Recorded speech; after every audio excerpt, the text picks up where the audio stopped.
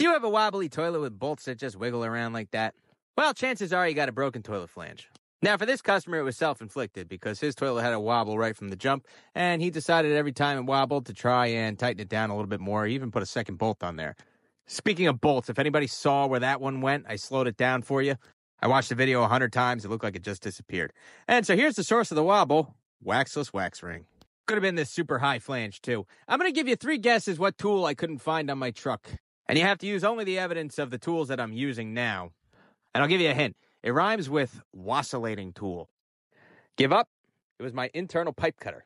Yeah, I couldn't find it anywhere. So anyway, I used one of these twist and set flanges. This is the first time I've ever used this.